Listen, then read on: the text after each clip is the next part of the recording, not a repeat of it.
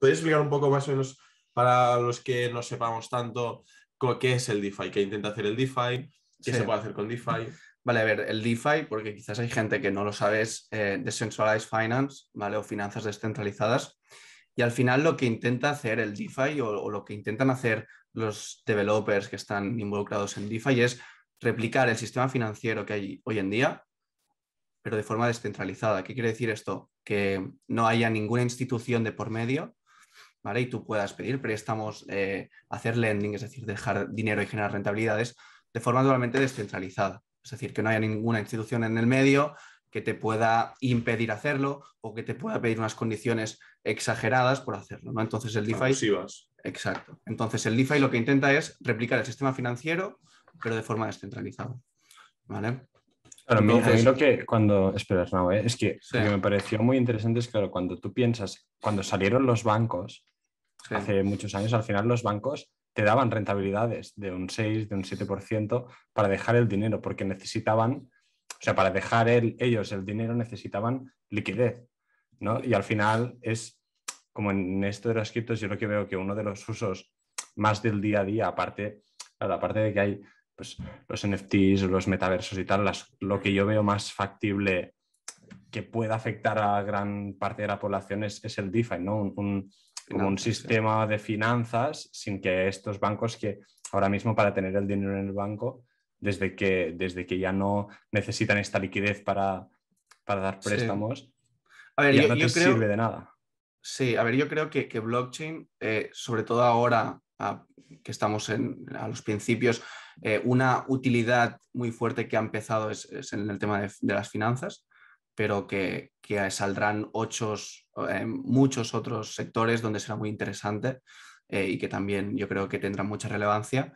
Pero sí, sí, realmente en, finanzas se está demostrando que, hay muchas posibilidades y muy buenas y al final lo que importa es dónde están los developers, los programadores. Hmm. Y, ahora mismo están allí. Sí, sí, junto a NFTs, gaming. Es, es, verdad que eh, yo, supongo que es lo que dices tú, que cada vez más vamos a ver industrias, sobre todo yo creo que las que están más reguladas, las que están descentralizadas, como, la banca o las finanzas, van a salir más proyectos así para un poco quitar este intermediario que, a veces, muchas veces, como tampoco tienes otra opción, es, es en, ciertas emisoras abusivo. muchas veces que ni te lo planteas, la, o sea, es, como que estamos replanteándolo todo, ¿no? Porque eh, muchas veces ya es como que damos por supuesto eh, que, un servicio tiene que ser de esta forma, con un intermediario de por medio. Bueno, pues el, ejercicio es intentar, intentarlo, quitarlo. Y poderlo hacer pues, con smart contracts, con, automatizaciones que no dependan de, ninguna institución o entidad central. Pero yo, a este, eh, mira que a mí estas cosas a mí me, me parecen súper bien porque o sea, me parece muy bien la idea y la innovación esta de, intentar sacar toda la descentralización, pues en este caso las finanzas. La cosa es hasta qué punto no haber una resistencia tan, tan grande por parte de, las instituciones ya asentadas, centralizadas como los bancos, que prácticamente pues amasan gran parte de todo el capital mundial para que esto no, no fluctúe y no, no tiene para adelante. Esto es un poco a mí. Esto siempre pasa. regular, no ¿eh? sé, Hay que ver cómo va a regular esto. No, o sea, no, sé hasta qué punto es tan. O sea, el, desarrollo del, del, DeFi va a ser tan, tan, tan enorme y tan, tan, tan rápido como para que estos jugadores tan grandes que existen ahora mismo no intenten frenarlo y decir, esto, esto no va a ningún sitio, aquí nos quedamos nosotros. Lo van a tener que frenar por algún lado.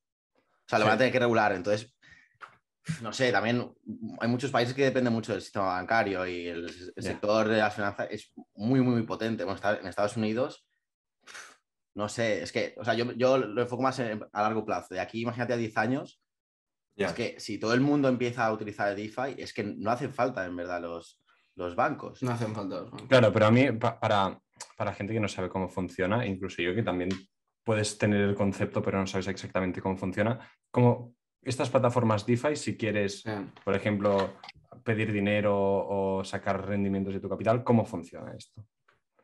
Al final, eh, todo, todo, opera, eh, primero de todo, no, es muy, bueno, no puedes hacerlo si, tienes tus criptos en Coinbase o en Binance. Primero de todo necesitarás una wallet, eh, ya sea un Metamask, un Ledger, para interactuar con el protocolo que está dentro de la blockchain. Un protocolo sería como, como una aplicación, hmm. ¿vale? Que se desarrolla encima de una blockchain. Por ejemplo, hay protocolos en, la blockchain de Terra, ¿vale? Pues es decir, son protocolos, eh, aplicaciones que están eh, que están construidas en, una blockchain en concreto. ¿vale? Hay aplicaciones que están en la blockchain de Ethereum. ¿vale? Entonces, eh, pues tú con tu dinero, o sea, con, tus criptos, ¿no? y que las tienes en tus wallets, pues al final lo que haces es interactuar con, esta, con este protocolo. Y, por ejemplo, eh, quieres eh, generar rentabilidades con, imagínate, tienes 1000 USDT, ¿no? Y quieres generarle una rentabilidad. Bueno, pues los tienes en tu wallet y interactúas con, este protocolo y los depositas allí. ¿no? Y por depositarlos allí, pues el protocolo le, dará una utilidad y a cambio de esta utilidad em, te, generará una rentabilidad. Que, eh, o sea, esta, la utilidad que pueden tener, o, por, por ¿Qué utilidad? puedes usar, pues puede ser por dar crédito a una persona, por ejemplo. o liquidez, o, liquidez. O, liquidez en los mercados. Liquidez, exacto. exacto. es la lucha de la liquidez. Claro, es como bueno, es a través de contratos inteligentes, que se llaman, bueno, los automated market, makers, estos, que funcionan directamente con, con, smart contracts y lo único, lo, único, que hace falta es un pool de liquidez con, con, dos criptomonedas que sean iguales y los usuarios pueden depositar ahí pues, sus criptomonedas para aportar liquidez en este pool para que la, para que la gente pueda comprar y vender y eh, se llevan una parte de los fees, es como se gana así el dinero.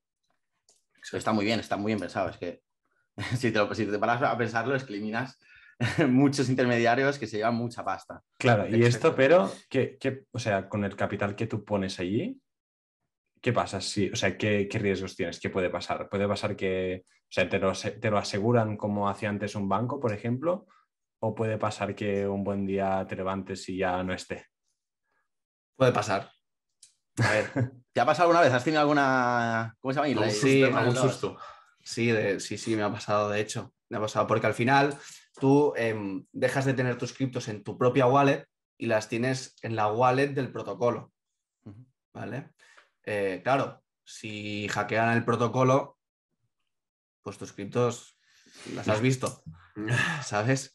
Em, y sí, me ha pasado, me ha pasado. Hubo una, un protocolo que se llama Green Finance, que estaba en la blockchain de Phantom, que le robaron, creo que fueron 20 millones de dólares eh, de gente que tenía eh, criptos en, Green Finance, en este protocolo, generando una rentabilidad.